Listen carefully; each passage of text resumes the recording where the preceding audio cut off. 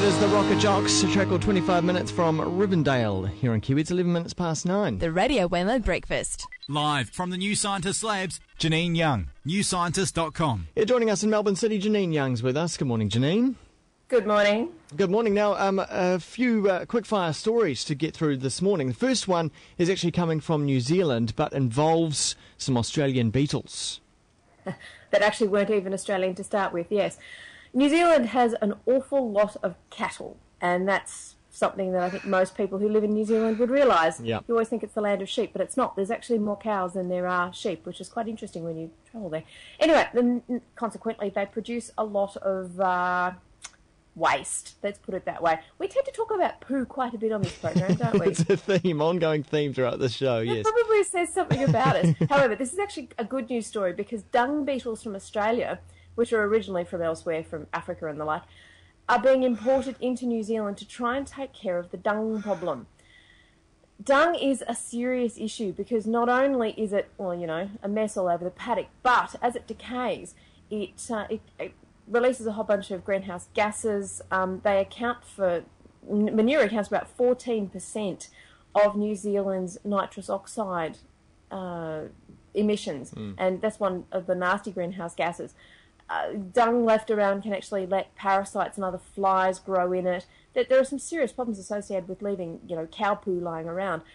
What dung beetles do, and if you've ever seen them, they're amazing. They roll the dung up and either just lay their eggs into it or they bury it, and that then feeds their brood of, of dung beetles coming on next.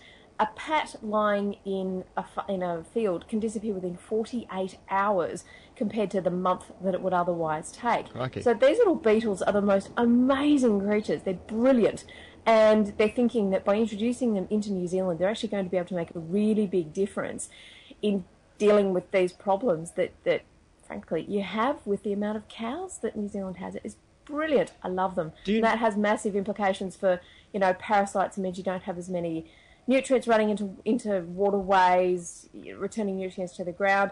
It's all good. Do you know how big they are at all? Uh, very. There are different varieties.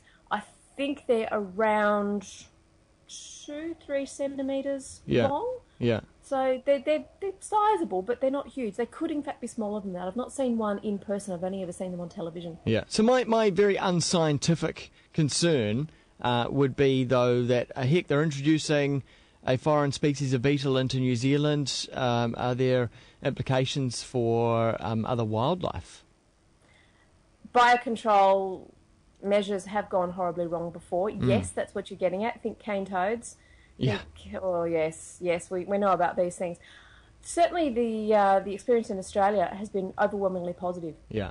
they haven't had any problems because in dealing with dung, they, tend to concentrate on the big sloppy ones like cows because it's more abundant. There's a lot of it. Uh, I don't know how they go with uh, the pool of native species, for example, because you might be thinking that um, for germination and the like, seeds need to be put through animals and then out the other end. Uh, but potentially, it could actually be a benefit because if they're burying the dung, then it means the seeds are actually getting underground and can germinate. Um, I'm not aware of anything that's gone wrong with dung beetles, and I would suggest that if there was even a hint of something that had gone wrong in Australia, New Zealand wouldn't be touching it with a barge pole. For sure. Okay, next story. Um, off to um, music festivals, where uh, one of the biggest complaints uh, from a bad festival would have to do with the sound, and certainly. Um, you know, I've been to some uh, festivals where the band's been really good, but ah, the sound so frustrating, you know, and it's really let things down. But now there, um, there may be a, um, a solution to this. Ah, there's an app for that. There's Yeah. always an app for everything these days. yeah. Um, researchers are trying to take care of the really high frequency sounds that tend to be vocals and the like. You know, they sound really tinny. You feel the bass through your body. It's trying to rearrange your heartbeat. You know, I think we all know the feeling. Mm. But the vocals are often the ones that suffer the most. So what they're, they're doing at the moment is setting up a system where a mixer at the stage sends certain frequencies, usually the high frequencies, through an FM radio transmitter to your device. And what it's able to do is to be able to delay this signal just enough that it can actually hit your phone, and it has to be done uh, through a different system because it can't be done through radio. Sound travels about a million times slower than radio waves. They've Yeah. got to delay it to make sure that it arrives at your phone and your therefore your headphones at the same time. Um, so they can actually put these signals together. You feel the bass, and you you know you can actually tell a lot about what's going on about the music by feeling it because it's often that loud.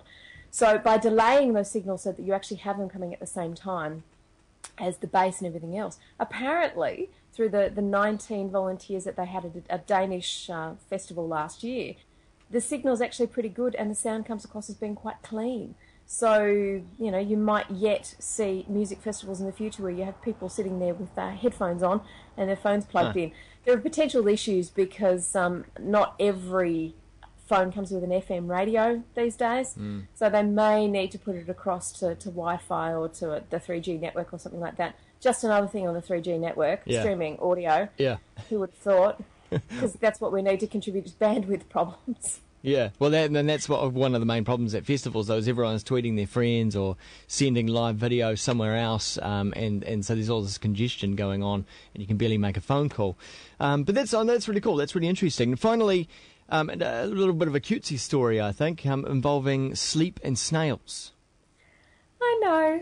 Who thinks about snails? They're things that eat my basil, you know, and I don't like them very much. However, snails have actually taught us quite a bit about neural pathways, the way our brains are connected and the like.